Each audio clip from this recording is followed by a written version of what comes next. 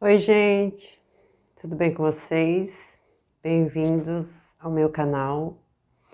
É, hoje eu vou abordar um tema um pouco delicado, né? Que se fosse abordado há dois anos e meio atrás eu não conseguiria falar o que eu vou falar hoje. Então, depois de dois anos e meio é que eu vou conseguir falar, tocar no assunto né? Ah, eu vou falar sobre a depressão, né? A saúde, a depressão do meu filho, do Natan. E depois eu vou falar da minha depressão. É, eu vou contar a história, né, do Natan, meu filho. Quem me acompanhou há dois anos e meio atrás sabe da história, né? É, eu fiz dois vídeos falando sobre, mas eu estava tão atordoada, tão fora de mim, que eu não sabia nem o que eu falava, eu simplesmente saía falando, né, no vídeo. É, então, agora, né, eu acho que eu devo isso aos escritos, né, aos escritos mais antigos, né, é, aos novos que chegaram vão entender. É, eu fiquei mais de um ano sem gravar, mais, mais, de, mais de um ano, né? Quase dois anos, né? Sem gravar nada no YouTube, né? Eu era constante, constante. Um dia sim, um dia não, ou todo dia eu gravava pro YouTube e eu parei de vez, né? Então tá, vamos lá. Natan, meu filho, né? É, ele sofreu de depressão há sete anos, né? Ele era casado, né? Ele era casado, ah, morava na praia, era evangélico, né? Ia para a igreja, é o casal, né? Aí resolveram voltar para Blumenau e houve a separação, o divórcio, né? Como qualquer casal, né? Como qualquer casal. E depois disso, ele já tinha um pouco da depressão, né? Não era, não era tanto, né? Era... Mas aí agravou. Então, cinco anos é, depois do, da separação, agravou. Então, ele ficou cinco anos com essa doença, né? Cinco anos com essa doença e de todas as formas eu fiz de tudo para ajudá-lo, né? Para ajudar o meu filho. Aí ele morava sozinho. Ele morava sozinho, né? Então ele, ele me ligava é, quase todas as noites, noites não, madrugadas. Ele me ligava, né? Mãe, me ajuda. Mãe, é, eu preciso de ajuda. Eu preciso de ajuda. E daí então.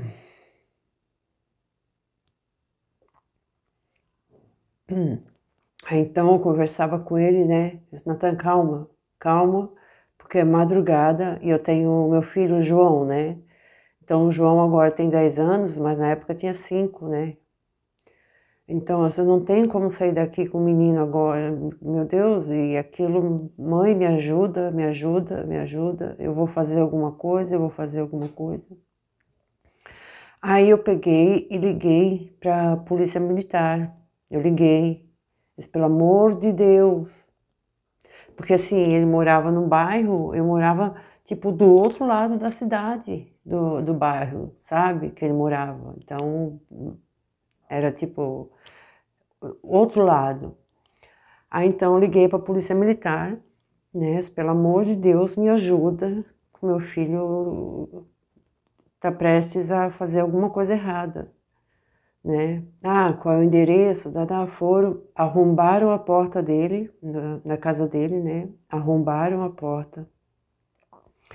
Aí tiraram ele, né, meu filho lá de dentro, né, da casa dele Aí a polícia me ligou porque o número fica gravado lá, né, na central. Então me ligaram, né, falaram: "Sua mãe, ele está aqui". e estamos levando ele para sua casa, assim, amém.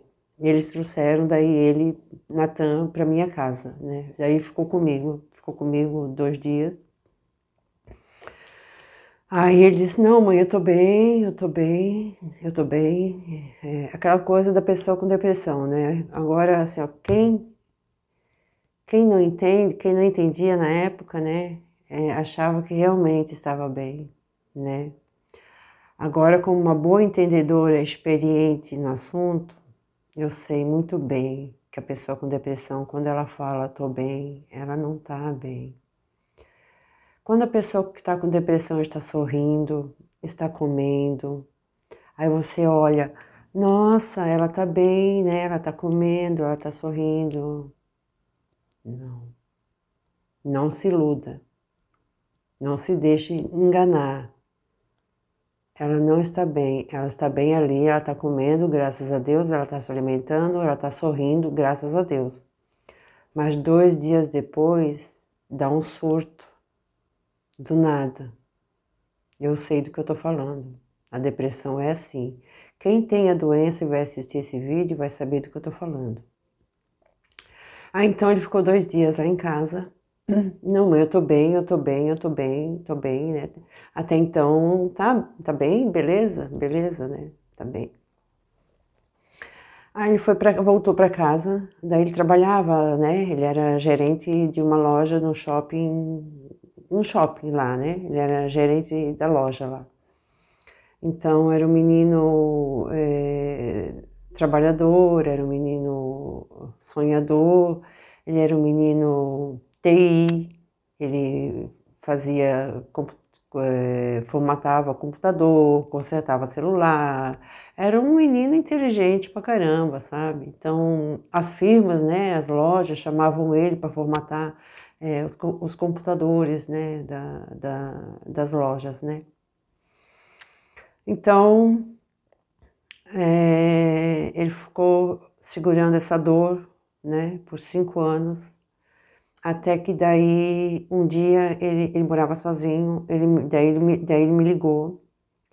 Ele disse, mãe, eu não tô bem. Mãe, eu não tô bem, eu não tô bem. Natão, o que, é que aconteceu? Ele, ele teve uma crise de ansiedade. Deixa eu ressaltar aqui, deixa eu, deixa eu falar um negócio sobre a crise de ansiedade. Tem a crise de ansiedade tem a ansiedade. Ah, eu estou ansiosa. E tem a crise de ansiedade, que é pior. O que, que é a crise de ansiedade? Taquicardia, coração acelera, falta de ar, angústia, agonia, dor no peito, isso é uma crise de ansiedade, o choro. Você se senta no chão, você fica agoniada, você não consegue respirar. Isso é uma crise de ansiedade. Ele teve isso, né? Daí chamaram a ambulância, tal. Então, até que daí então eu percebi que realmente ele não poderia mais viver sozinho né? Ele não poderia, não tinha mais condições de trabalhar, porque um dia ele ia trabalhar, no outro dia não. Um dia ele ia, outro dia não. Então eu chamei ele, não, agora tu vai vir morar comigo. Você vai vir morar comigo, eu falei para ele, né? Você vem morar comigo. Sozinho você não fica mais, né? E, e daí foi o que aconteceu. Então ele veio morar comigo, né? Veio morar comigo e mas ainda queria continuar trabalhando, né? Eu disse: "Tu consegue? Tu consegue?", né? "Consigo, mãe, consigo". Aí até que daí não realmente não deu mais, né? Então assim, ele morava comigo aqui. É, toda noite toda noite eu não dormia, porque se eu escutasse um barulho,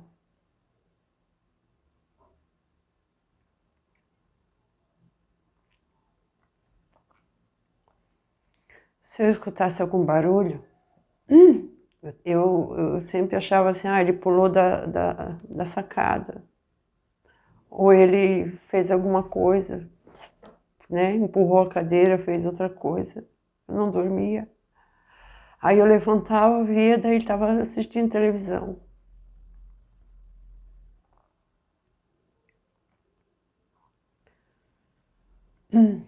E daí ele, ele, ele conseguiu o encosto pelo INSS para não precisar mais trabalhar, né? Ele conseguiu, né? Ele conseguiu isso em novembro de 2022.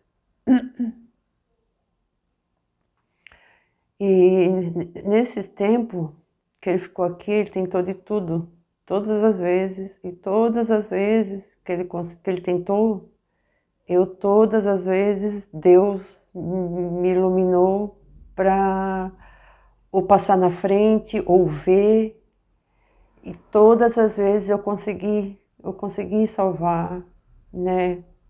É, eu mandava ele vomitar ele tomava medicamentos eu, é, ele tomava coisas né? Então eu consegui fazer ele vomitar. É, se vomita agora tudo, vomita, enfia o dedo na goela, tu vomita tudo, vomita tudo, né? Aí vomitava, aí chamei, chamei o SAMU, ele ficou internado, né? Eu fiquei com ele lá no hospital. E aí então, lógico, né? Foi diagnosticado que ele não podia mais ficar sozinho, né? Mas ele tinha eu, né? Tinha eu do lado dele e eu entendia a doença dele, né? Eu entendia. É, eu entendia a, a depressão, eu fui estudando, fui estudando, fui lendo. Eu entendia o que ele sentia, né? A dor, né? A dor na alma. A dor na alma, ela é pior que a dor física porque ninguém tira a vida porque está com dor de dente, dor de cabeça, né? Então a dor na alma, ela é pior que a dor física. Então, é, consegui salvar ele várias vezes, assim, sabe? Aí, no dia 2 de dezembro de 2022, Era quatro horas da manhã, eu levantei. Eu, não, eu dormia com a porta aberta do meu quarto, eu não fechava mais, né? Aí eu, aí eu levantei para ir no banheiro. Eu levantei, ele estava no sofá, sentado. Daí eu saí, Natan, estás bem? Ele não respondia. Daí eu já Natan, tu estás bem, Natan? Aí ele olhava, né? Natan, fala alguma coisa, filho.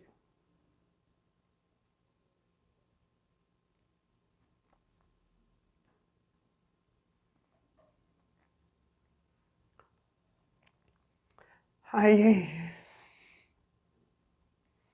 Aí ele só virou a cabeça para o lado, assim, e começou a convulsionar. Aí ele usa óculos, né? Eu tirei o óculos dele. Enfim. É, é, eu fiz de tudo, a ressuscitação, respiração boca a boca, enquanto eu estava com o SAMU no telefone, né? Ai, fiz de tudo, mas não, não consegui. Não consegui. E a dor de perder um filho, tem um ditado que diz, né, que o filho é o coração que bate fora do peito da mãe. É um ditado certo, porque a partir do momento que ele para de bater, o da mãe também para.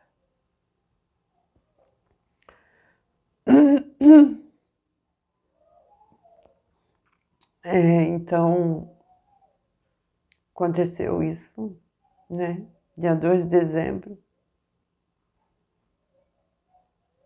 Eu estava totalmente fora da. totalmente fora.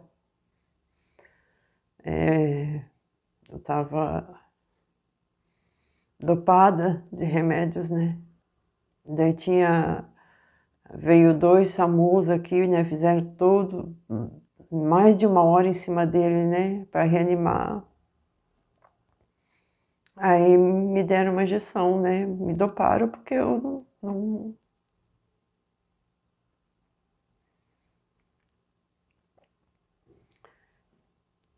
Eu fiquei dopada, dopada no velório, dopada no enterro, dopada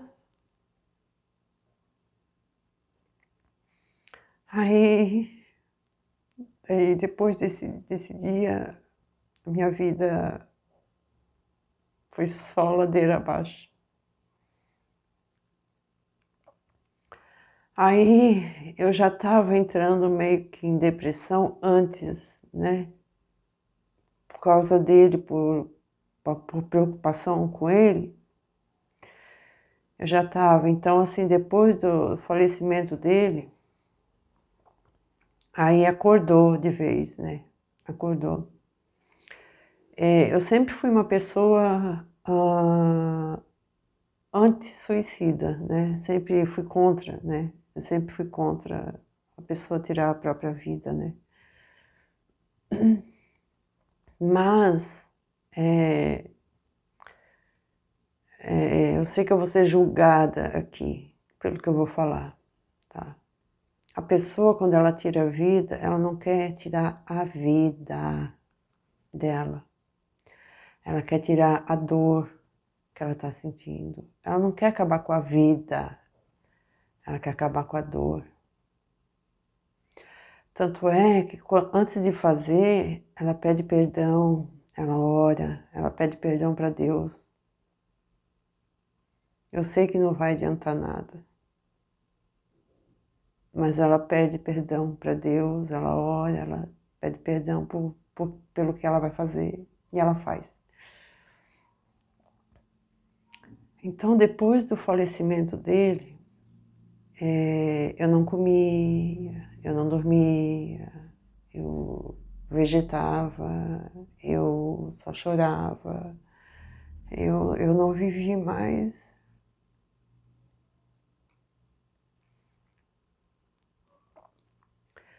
Então eu entrei em depressão.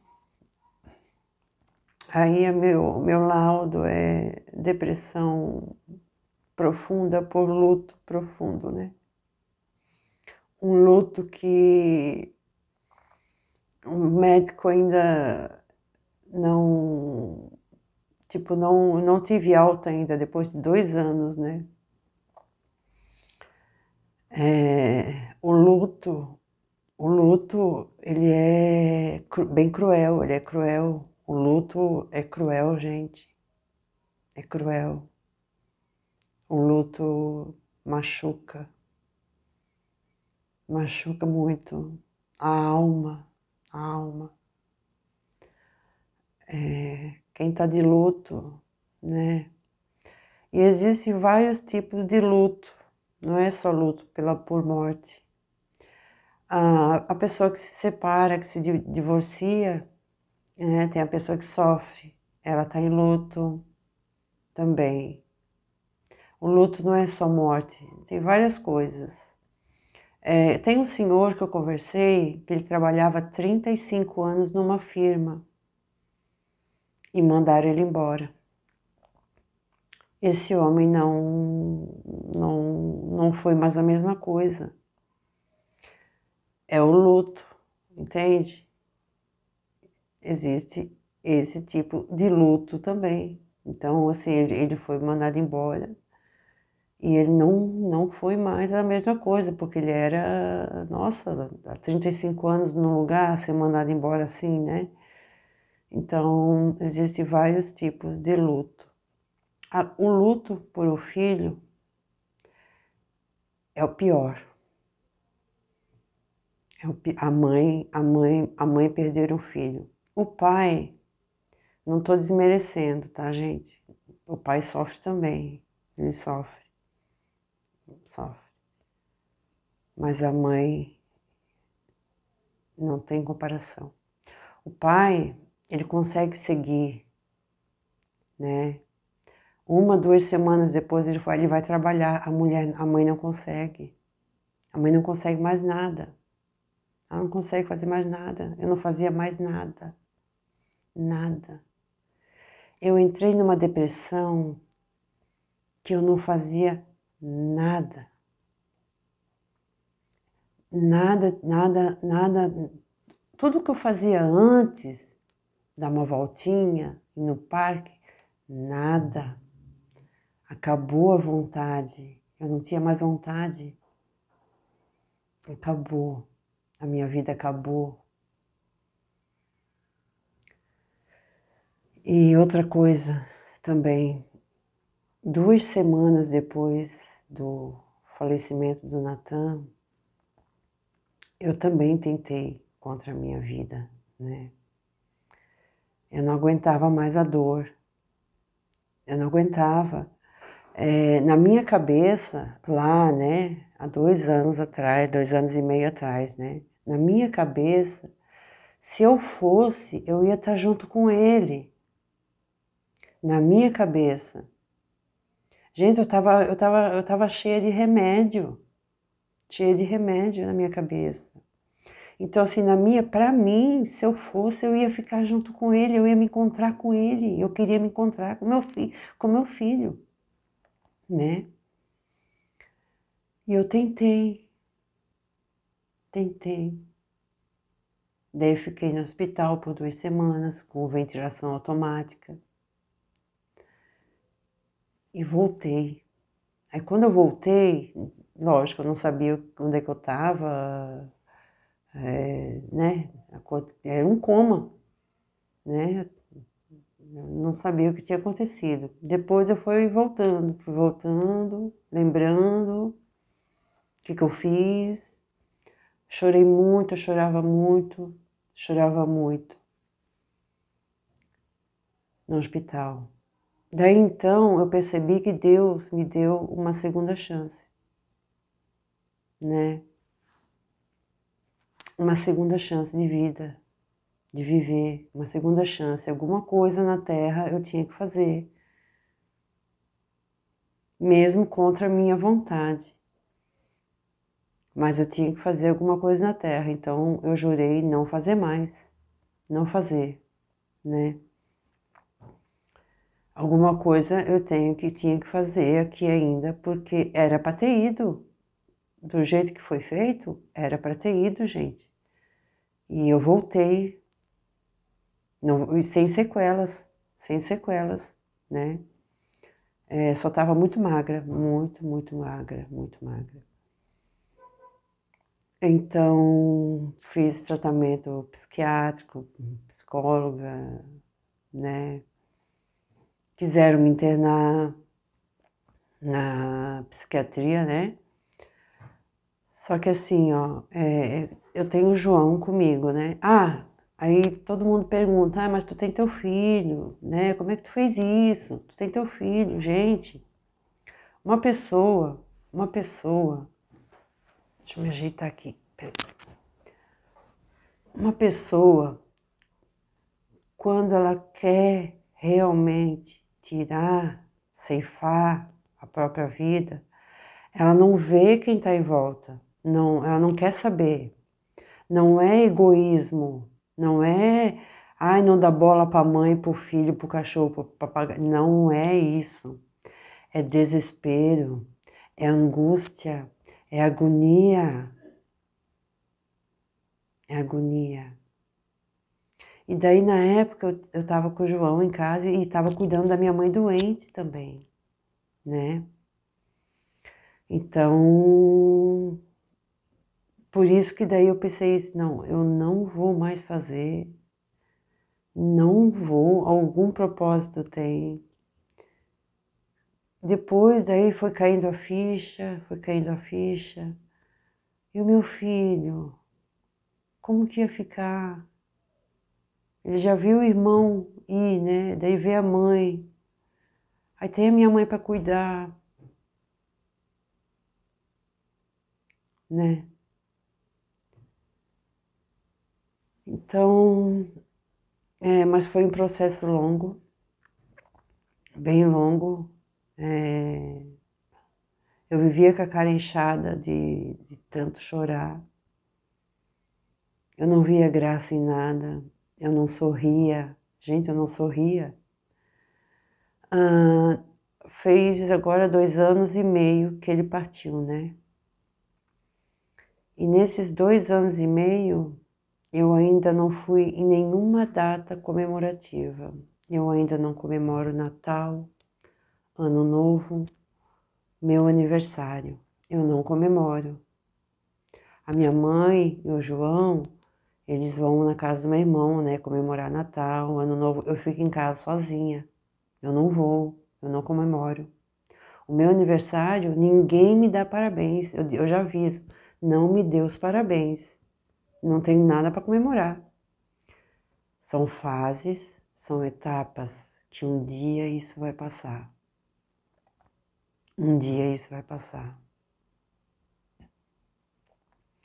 Então foi um processo, né? A depressão, ela é um processo e a depressão ela vai te ceifando todo dia lentamente. Viva.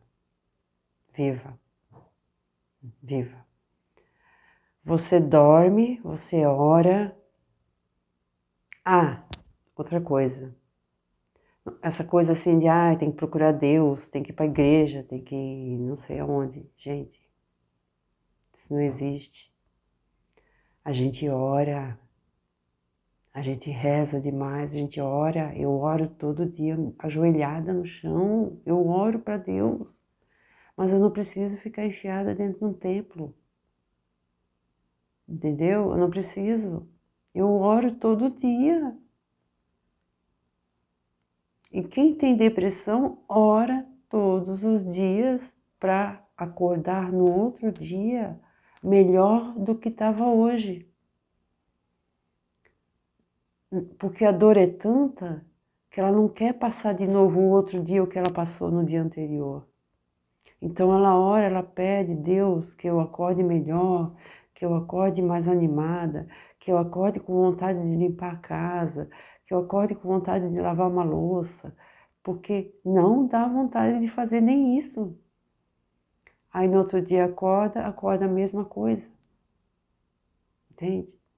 Então, assim, é, e a pessoa com depressão, ela não fica chorando, é, é, como é que eu vou falar para vocês? Ah, ela vai na casa de um parente ficar chorando, ficar chorando na frente de, de, das pessoas. Gente, a pessoa com depressão, ela, ela, ela é discreta.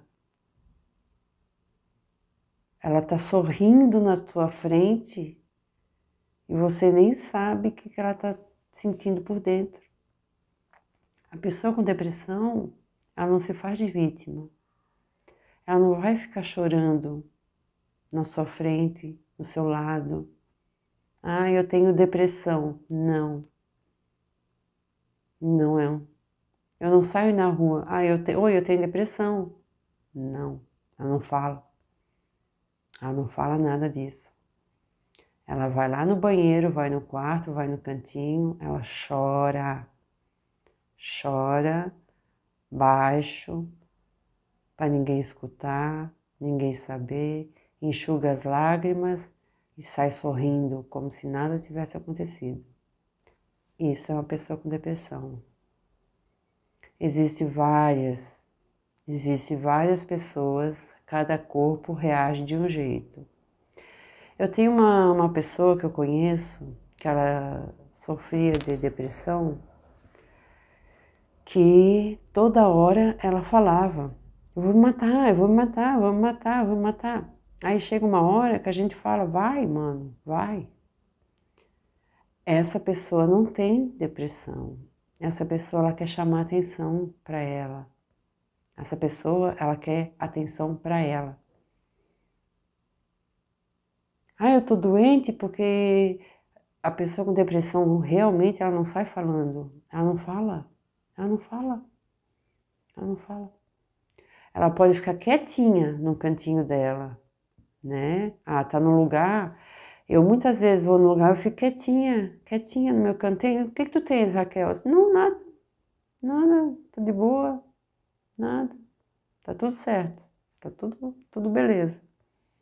Mas lá dentro tá uma dor enorme. Mas assim, hoje eu posso falar para vocês que assim, 70% já bem melhor do que eu estava do que eu estava antes, né? Do que eu estava antes. Todo dia, que nem tipo hoje há, uma meia hora, uma hora atrás, eu estava chorando por causa do Natan. Eu tô, tô com olho colheira, ó, tô com o inchado. Eu estava chorando por causa dele. Eu me ajoelhei, né, cruzei os braços, cruzei as mãos, orei e chorei, chorei, chorei, chorei.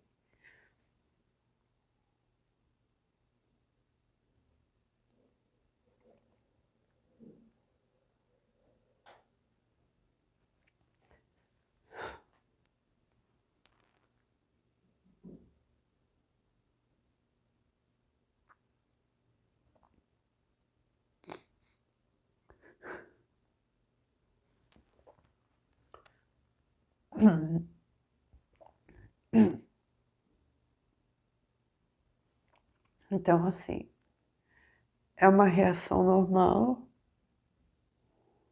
É um filho, né, que partiu. Uma saudade. E eu queria deixar alerta para depressão que muitos falam que é frescura, que é falta do que fazer, que é malandragem. Não é. A depressão ela é muito perigosa. Ela é muito perigosa. Tem que cuidar. E tem que cuidar muito com as palavras, com o que você falar com uma pessoa com depressão. Porque ela absorve sabe? Ela absorve. É, aqui em casa, graças a Deus, todo mundo me entende, entende a minha doença é, através do Natan, né? Então, assim, o Natan tinha, eu entendia ele, ninguém entendia ele, eu entendia o meu filho. Aí eu peguei a doença, eu tive a depressão. Daí então que eles começaram a entender a doença.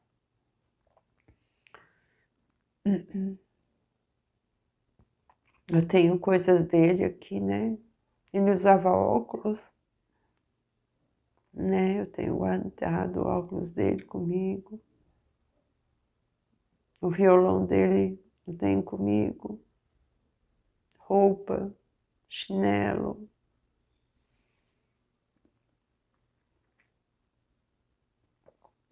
É, é uma dor que nunca mais sara, sabe?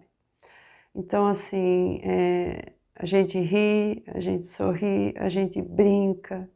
Eu brinco muito, faço muita palhaçada, muita risada, faço, tenho muitos amigos que nem imaginam que eu tenho a doença. Agora vão ver esse vídeo e vão saber, né? Eu tenho amigos que nem sabem. Eu tenho amigos que nem sabem do que aconteceu com o Natan. Sabem que eu tenho dois filhos, Natan e o João, mas não sabem o que aconteceu com ele, porque eu não, não precisa contar. É igual eu com a depressão. eu não, não conto, não saio contando para as pessoas. Eu não conto. Eu tenho amigos mais íntimos que sabem, né? Lógico. Mas tenho muitos que não sonham nem imaginam, né? Por quê? Não precisa sair falando. Então, Natan, Natan, ele é, cumpriu a missão dele aqui na Terra, né? Ele fez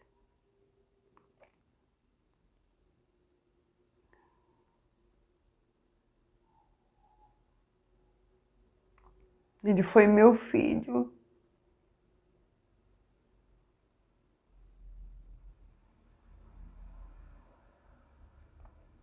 Ele fez 30 anos agora em fevereiro. E eu comemoro com bolo aniversário.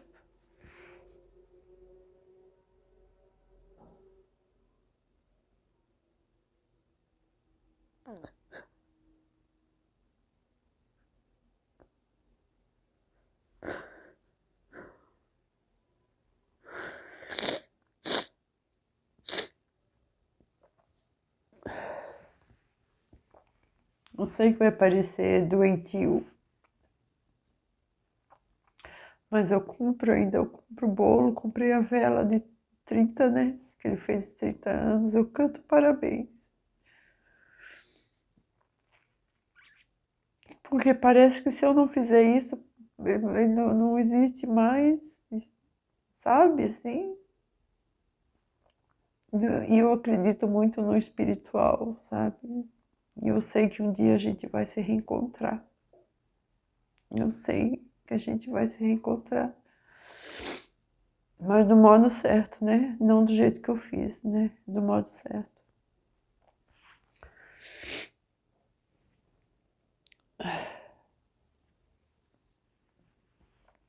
E então, é isso que eu queria. É, eu estou vivendo, né? Eu vivendo hoje é, normalmente. Eu oro muito, muito, muito, muito, muita oração, sabe? Muita oração. Eu leio muito é, livro espírita, leio a Bíblia do Natan Tali, eu tenho, ele tem a Bíblia, né? Que era dele. Eu também leio uns trechos assim, né? Para me acalmar.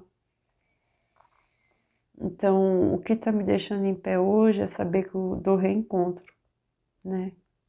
Que eu vou ter um dia. Tem pessoas que dizem que não, que é contra, que isso não existe. Gente, podem comentar à vontade, porque vai entrar aqui, sair aqui. Eu não vou debater, não vou discutir, porque cada um tem a sua crença, né? Cada um acredita, né? Cada um tem a sua crença, né? A minha é essa. Eu acredito muito nisso, né? É, então é isso. Eu hoje estou fora de medicamentos, não tomo nada mais, nada, nada, nada, nada mais, nada. É, às vezes eu tenho surtos de nervoso, de estresse, né? Tenho, fico estressada. É, mas é por, por muita coisa, assim, né? Eu cuido da mãe doente, cuido do, do João, ah, não posso trabalhar porque eu, eu tenho que cuidar da mãe, então isso tudo sobrecarrega, né?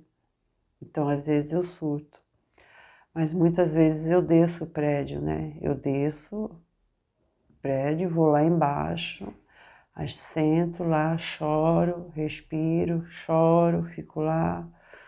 Aí o João quer descer junto, eu falei, não, João, deixa a mãe sozinha, né?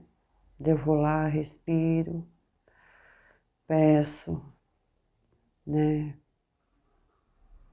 Paz, peço força para mim, porque além de tudo que aconteceu, eu ainda tenho que ter força para cuidar deles.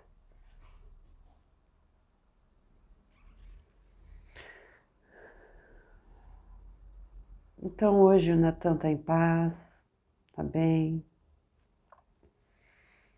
E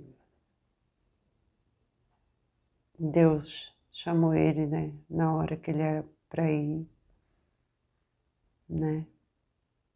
E Deus não me quis, né? Não me quis. Não era para eu ir. Então agora é seguir. Essa parte do seguir em frente dói.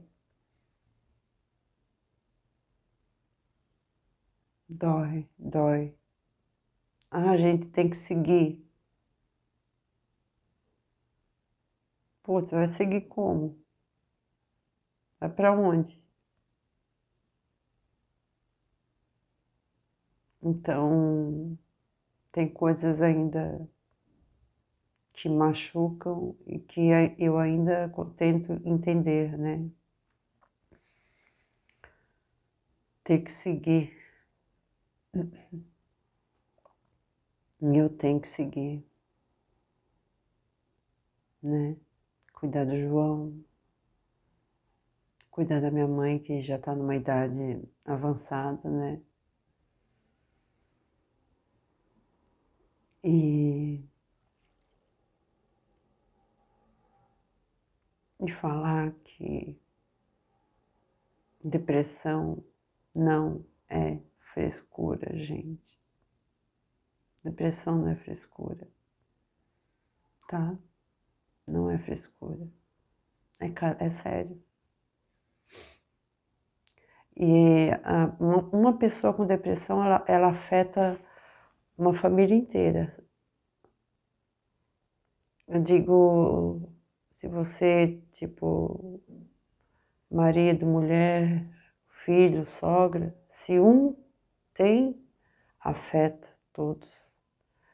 Porque a pessoa com depressão é uma bomba relógio. Qualquer hora ela pode, ó, surtar. Então, fico alerta. Fico alerta, tá? Era isso, gente. Foi esse o vídeo de hoje. Foi mais um desabafo, um alerta. Eu quis falar do Natan. Tinha mais coisas para falar, mas eu cortei porque Quem sabe no outro vídeo, em, em outras palavras, eu fale. Mas não dava para falar aqui. Mas tinha mais coisas, assim, sabe? Sofrimento dele, né? O porquê, a causa, a causa, a causa da depressão. E também no próximo vídeo eu vou falar o que ele me falou sobre a vida, sobre a vida. Tá bom, gente? Foi esse o vídeo de, de agora, tá?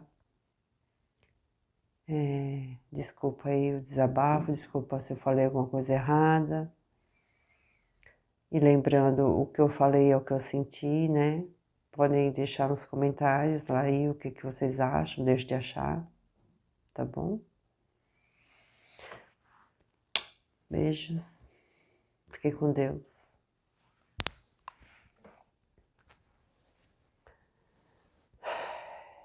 Fiquem com Deus. Amém. Até mais. Tchau, tchau.